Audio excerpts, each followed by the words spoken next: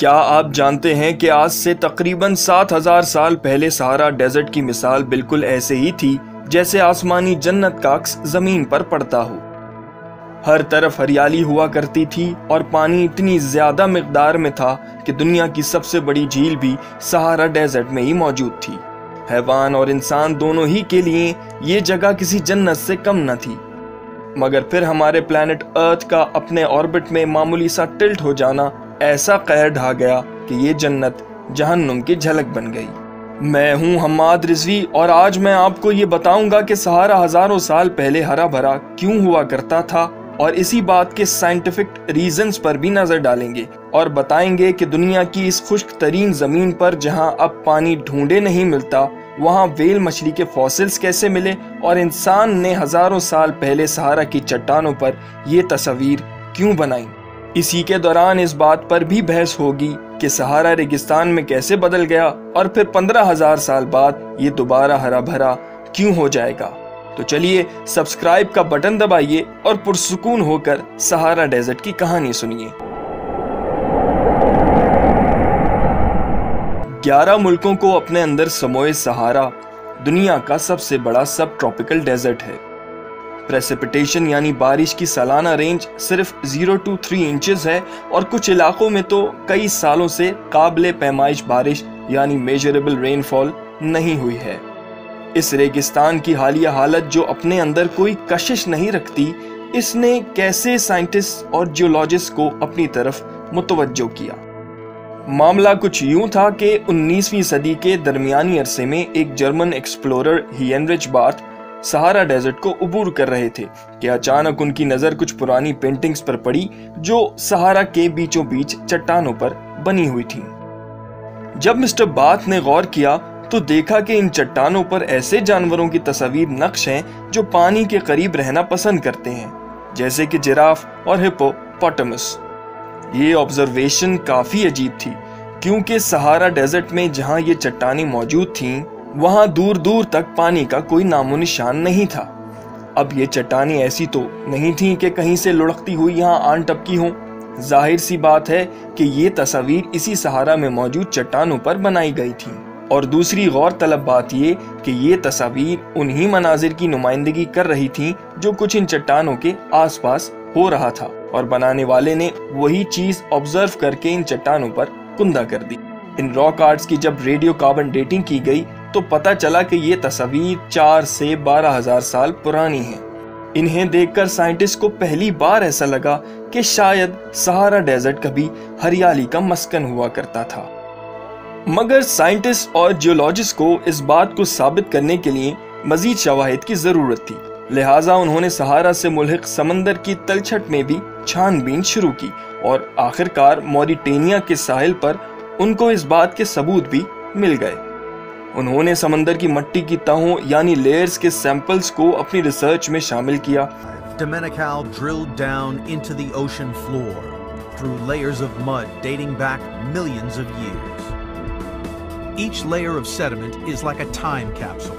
اس کی وجہ یہ تھی کہ ڈس فلکس یعنی سہارا ریگستان کی دھول ہوا کے ذریعے اڑ کر ان ساحلی علاقوں تک جاتی ہے اور مختلف تہیں لیئرز بنا لیتی ہے first collected these measurements, I really kind of almost fell back in my chair because what we saw was there are many switches like this in the climate system.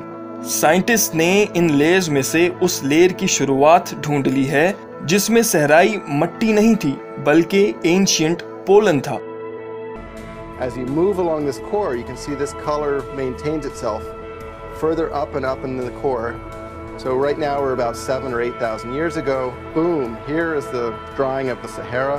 You can put your finger on it in this core right here at five and a half thousand years ago.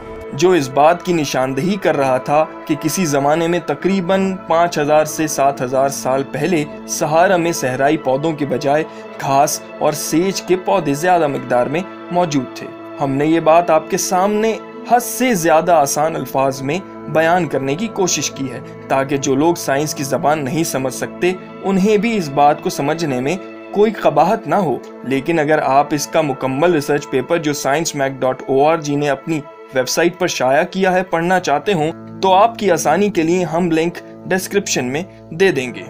چلیے اب اپنی کہانی کو continue کرتے ہیں۔ ان سمندری تہوں layers کو دیکھ کر یقین میں مزید اضافہ ہوا کہ سہارا کبھی ہرا بھرا ہوا کرتا تھا، لیکن سائنٹسٹ اور جیولوجسٹ کے لیے یہ ثبوت ابھی بھی کافی نہیں تھے۔ لہٰذا اب وہ سہارا ڈیزرٹ اور سمندر سے نکل کر سپیس یعنی خلا میں اس بات کے ثبوت ڈھونڈنے نکلے۔ ریسرچ کے بعد یہ بات ظاہر ہوئی کہ افریقن ریجن میں ایک ہیومٹ پیریڈ گزرا ہے، جو کہ ہر اکیس ہزار سال کے ایک سائیکل کا حصہ ہے اور کچھ پانچ ہزار سال پہلے یہ ہیومٹ پیریڈ ختم ہوا ہے۔ اس ہیومٹ پیریڈ کے دوران ہماری زمین کا آربیٹل ٹلٹ ایسا ہو جاتا ہے کہ اس کی وجہ سے زمین پر شمسی توانائی یعنی سولر انرجی فور پرسنٹ سے ایٹ پرسنٹ تک زیادہ ٹکراتی ہے۔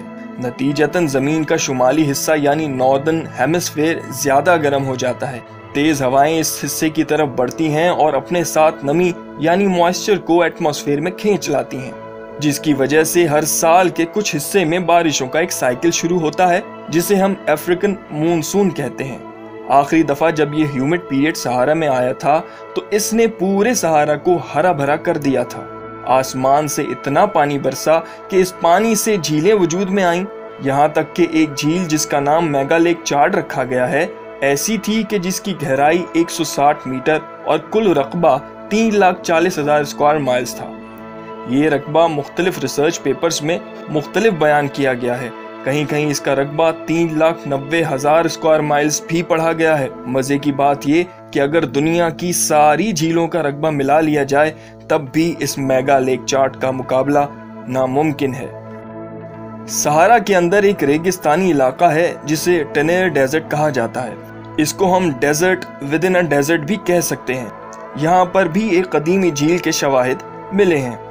اب سائنٹسٹ اور جیولوجسٹ کی سہارا ڈیزرٹ کے بارے میں جستجو مزید بڑھتی جا رہی تھی اور یہ جستجو ان کو the great pyramids of Egypt یعنی مصر کے احرام تک بھی کھینچ لائی اور حیرت انگیز طور سے انہیں وہاں پر بھی اس کے ثبوت مل گئے۔ ان پیرامڈز کے بلڈنگ مٹیریل میں جو پتھروں کے بلاکس استعمال ہوئے ان کا معائنہ کیا گیا تو ان پتھروں میں سے millions of years old sea shells جسے ہم اردو میں سی پی کہتے ہیں، کہ فوسلز دریافت کیے گئے۔ مگر بات یہاں پر بھی نہیں رکی اور پیرامڈ سے کچھ دور علاقے میں اینشنٹ ویل یعنی قدیمی ویل مچھلی کے فوسلز بھی دریافت کر لیے گئے۔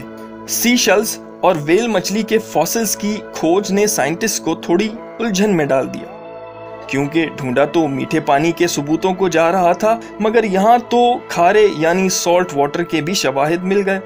اب اس بات پر بھی ریسرچ شروع ہوئی تو معلوم ہوا کہ افریقن کانٹیننٹ ہماری زمین پر اس وقت جہاں موجود ہے، ہزاروں سال پہلے یہ یہاں موجود نہیں تھا، بلکہ یہ یورپ سے کافی دوری پر واقع تھا اور بیچ میں ایک سمندر تھا، جسے ہم ٹیتھس کہتے ہیں۔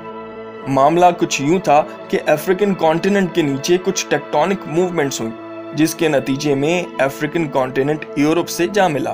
اب بیچ میں جو سمندر تھا، وہ افریقن کانٹیننٹ کے آگے بڑھنے کی وجہ سے مزید چھوٹا ہو گیا۔ اور اسی پروسیس کے دوران سمندر کے پانی کی کچھ پاکٹس افریقن کانٹیننٹ میں بن گئیں۔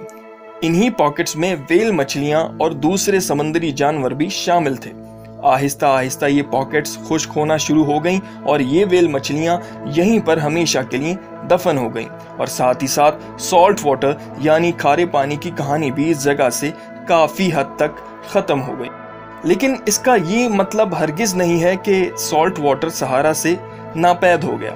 سہارا میں بیس کے قریب جھیلیں ہیں جن میں سے زیادہ تر کھارے پانی یعنی سالٹ واٹر لیکس ہیں۔ خیر، آہستہ آہستہ وقت گزرتا رہا اور پھر کچھ تین ملین سال پہلے زمین نے اپنے مدار میں کروٹ لی، جسے ہم ارتھ کا اپنے آربٹ میں ٹلٹ ہونا کہتے ہیں۔ اس بارے میں ہم ویڈیو کے شروع میں بھی بات کر چکے ہیں کہ اس ٹلٹ کی وجہ سے سولر انرجی زمین پر چار سے آٹھ پرسنٹ تک زیادہ پہنچتی ہے، جس کی وجہ سے موئسچر ہوا اپنے ساتھ لاتی ہے اور پھر بارشوں کا ایک سائیکل شروع ہو جاتا ہے۔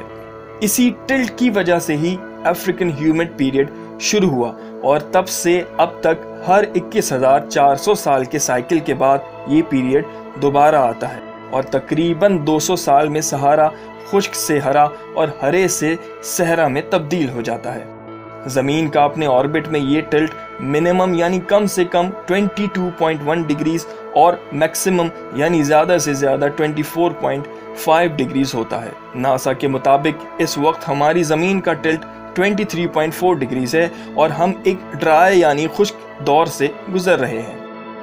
یہ ٹلٹ انتہائی آہستگی سے کم ہو رہا ہے۔ سائنٹسٹ اس بات پر یقین رکھتے ہیں کہ سہارا آج سے سات ہزار سے پانچ ہزار پانچ سو سال پہلے سرسبز و شاداب ہوا کرتا تھا اور اب مزید چودہ ہزار سے پندرہ ہزار سال بعد زمین پھر اپنے مدار میں ٹلٹ ہوگی تو سہارا میں ایک بار پھر مونسون کا موسم آئے گا اور یہ جگہ دوبارہ جنت نظیر ہو جائے گی۔ مگر اس وقت جو لوگ سہارا ڈیزرٹ کے آس پاس مقیم ہیں، وہ شاید پندرہ ہزار سال تک انتظار نہیں کر پائیں۔ لہٰذا جتنا وقت وہ زندہ رہیں گے، سہارا ڈیزرٹ ان پر ستم ڈھاتا رہے گا۔ لیکن انسان تو پھر انسان ہے، آرام سے تھوڑی بیٹھے گا۔ افریقہ کے لوگ سہارا ڈیزرٹ کے پھیلاؤ کو روکنے کے لیے کوئی حل ڈھونڈ رہے ہیں اور انہیں اس میں کچھ کامیابی بھی ہوئی ہے۔ یہ لوگ اب سہارا ڈیزرٹ کی باؤنڈری پر ایک گریٹ گرین وال بنانے والے ہیں۔ یہ گریٹ گرین وال کیا ہے اور کس حد تک فائدے مند ہوگی، اس پر ہم ایک علیحدہ ویڈیو لازمی بنائیں گے۔ امید کرتے ہیں کہ سہارا ڈیزرٹ کی یہ خوش کتر کہانی آپ کو پسند آئی ہوگی اور آپ اس ویڈیو کو اپنے دوستوں کے ساتھ شیئر بھی کریں گے۔ اور چینل کو سبسکرائب کرنا تو بالکل مت بھولیے گا۔ انسٹاگرام، فیس بک اور ٹویٹر کے لنکس ڈسکرپشن میں موجود ہیں، جنہیں فالو کر کے آپ مجھ سے کسی ٹاپک پر ویڈیو بنانے کی خواہش ظاہر کر سکتے ہیں۔ اگر اس ویڈیو میں ہم سے کوئی ایرر یا غلطی ہو گئی ہو، تو اسے کامنٹ باکس میں ضرور مینشن کیجیے۔ اگر آپ چاہتے ہیں کہ چائنا میں موجود گوبی ڈیزرٹ کے بارے میں جانیں، تو یہاں کلک کر کے دیکھ لیجیے۔ اپنا خیال رکھیے گا، آپ سے ملاقات ہوگی کسی دوسری انفارمیٹو ویڈیو میں۔